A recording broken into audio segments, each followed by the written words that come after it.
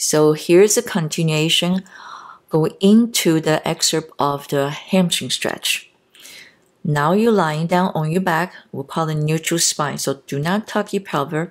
Your leg, your thigh, your leg, and your feet parallel to each other. I call it it's a number 11 from the thigh, your leg, and your feet.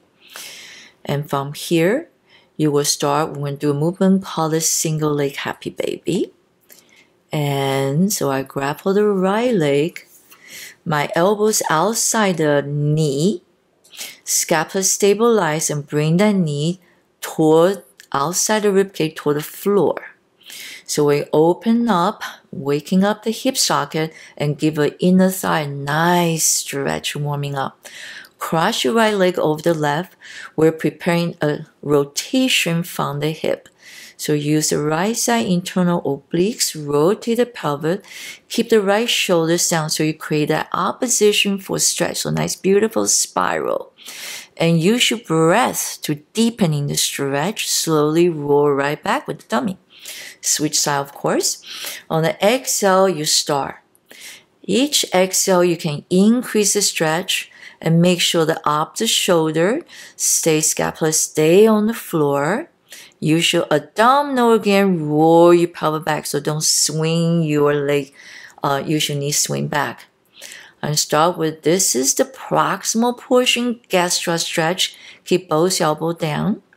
Now distal hamstring, as I say, I'm doing much faster than what you should be. I'm just doing demonstration. Now press. Now there's a whole hamstring stretch. Leg has to be straight. That's why you start the distal first, which behind the knee. Proximal pushing hamstring connect to your bone. So if you pass 90 degree, like I just did, I will extend the other leg to help my pelvis stay neutral. So I can really target the hamstring truth, truthfully. And exhale is the stretch and you stay there for extra three breaths to get the fascia opened up. Here comes the trick. If you medial rotate from the hip socket, you are stretching the medial hamstring. So there are three groups of hamstring. You have the medial one, so semi tendon, semi semimembranosus. So you medial rotate, you can grab hold the rope stretch and extra three breaths again and get the fascia. Now you're wrapping outside the, only the ankle, hold the same side arm. Opposite arm, bring the right knee to the left shoulder. We're targeting the bicep femoris. Femoris, that's for femur. So there's a bicep on the femur. So that's lateral hamstring, the much tighter one. Of course, you will do more than this. I'm just demonstrating. Keep each other heel. Now cross the lower leg. I start working on the IT band. That's the iliotibial band on the side of the leg. They're very long. So there's a three parts. And we just showed the first part 45. Now it's 90 degree cross to the opposite hip.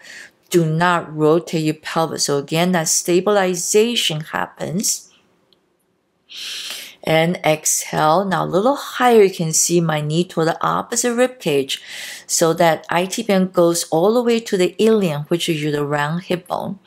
Now we're getting the whole line of the IT band on this extra stretch with the breath.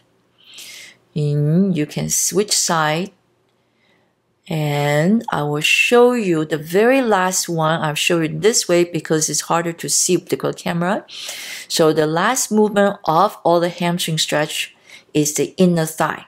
So I switch leg to just to demonstrate. You can see the inner thigh, my lower legs, abduct away from the midline, and I medial rotate after 90 degree, degree the hip socket naturally laterally rotate. Don't worry.